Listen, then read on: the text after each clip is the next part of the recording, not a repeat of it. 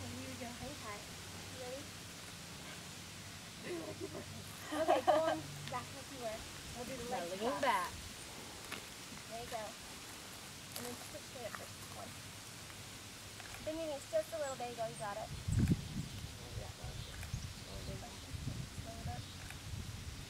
Sounds like a workout. Yeah. Okay, now look this way. Oh, my